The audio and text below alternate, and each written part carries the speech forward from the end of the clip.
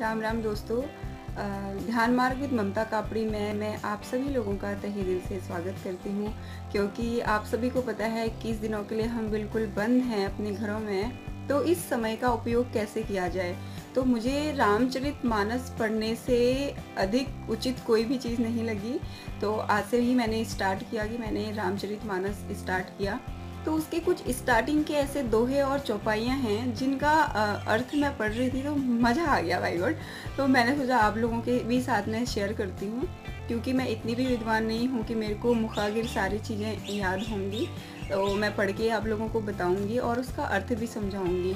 हो सकता है आपको पूरा रामचरित मानस पढ़ने का अवसर ना मिले या उतना समय ना हो पर आपको स्टार्टिंग के कुछ दोहे और चौपाइयाँ सुन के मुझे इतना ज़रूर पता है, जो भी लोग देखेंगे, उनका मन ज़रूर करेगा कि इतने अच्छे शब्दों में पिरोया है तुलसीदास जी ने। सबसे पहले तो उनको प्रणाम और धन्यवाद कि ऐसा महान ग्रंथ हम लोगों के सामने वो लाए। तो आइए ज़्यादा समय, ज़्यादा लंबे वीडियोस नहीं बनाएँगे, छोटे छोटे छोटे दो या तीन दोहों के ताकि आप चलते फिरते कभी भी देख सकें। तो शुरू करते हैं। मूक होई बाचाल पंगु चढ़ई गिरिबर गहना। जासु कृपा सो दयाल, द्रव सकल कमिमल दहना।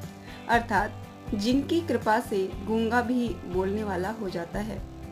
पंगु, यानी कि जिसके पैर नहीं है, जो अपाहिज है, वो भी पहाड़ पर चढ़ जाता है। कली के संपूर्ण पापों को जलाने वाले, वे सूर्य भगवान मुझ पर प्रसन्न हो, यानी कि इस प्रथम दोहे में। उन्होंने सूर्य भगवान की प्रार्थना करी है, उनसे समस्त विश्व की कुशलता के लिए उन्होंने मंगल कामना करी है।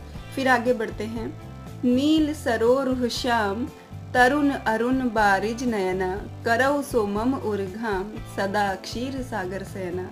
अर्थात जिनका शरीर नील कमल के समान श्याम है और नवीन लिखे हुए लाल कमल के समान नेत्र हैं, जो सदा क्षीर सागर में शयन करते हैं, यानी कि वे विष्णु भगवान मेरे हृदय मंदिर में निवास करें। कुंद, इंदु, समदेह उमा रमन करुणा नयना जाहि, दीन पर नेह करौ, कृपा, मर्दन, मयना।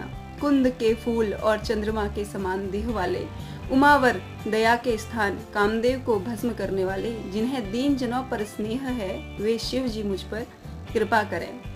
बंदौ, गुरुपद, कंज कृपा सिंधु नर रूप हरि महामोह तब पुंज, जासु वचन रवि कर निकर।